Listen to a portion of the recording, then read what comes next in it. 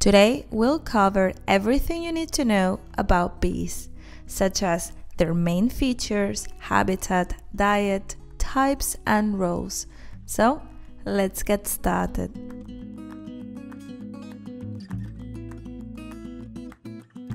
Physical characteristics of bees. The honeybee is an arthropod with jointed legs and belongs to the insect class.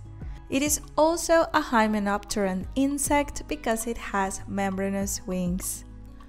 A bee's body is divided into three main parts the head, thorax, and abdomen.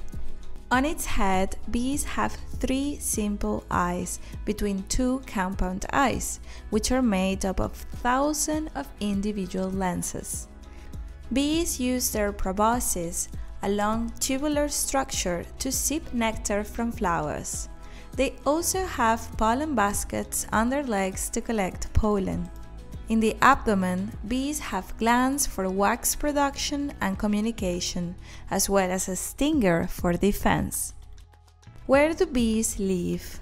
Bees live together in groups called swarms, and they make their homes in hives. These hives are made of honeycombs, where bees store their food and raise their young. A hive can hold up to 60,000 bees at its busiest, and you can find beehives all around the world except in Antarctica. Types of bees Bees can be grouped in different ways. There are social bees and solitary bees, bees that build their honeycombs in holes and others that do so in the open air, and also honeybees and non honeybees. In total, it is estimated that there are more than 20,000 species and only a few have the ability to produce honey. The most emblematic is, without a doubt, the western honeybee Within the hives of the western honeybee, we also have several types of bees. There is only one queen bee in a hive, and she is larger than the other bees. Her main job is to lay eggs and keep the colony organized. Worker bees are the most common and do many different tasks inside and outside the hive.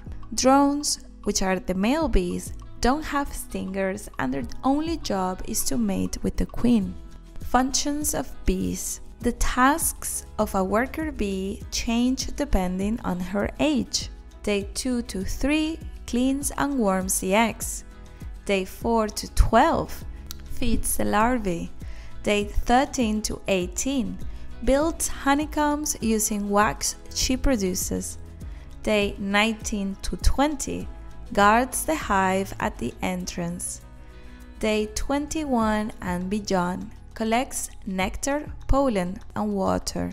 These bees are called foragers. Did you know that they use a special dance to show other bees where to find the best flowers or water? Food. In hives, bees eat four main types of food Nectar, which is a sweet, watery liquid made by flowers to attract pollinators. Honey, which is a thick, sticky substance that bees make from nectar. Pollen, which are tiny grains produced by the male parts of the plant for reproduction.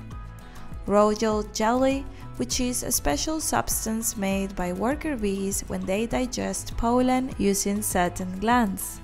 Worker bees are fed royal jelly for the first three days of their life, then a mix of honey and pollen during their larval stage. As adults, they eat honey, nectar, and pollen. Drone larvae are fed honey, and adult drones share the same diet as worker bees. The queen bee, however, eats only royal jelly throughout her entire life. Well, that's it for today. Thank you for watching. As always, don't forget to give us a like and subscribe to our channel for more videos like this. Until next time.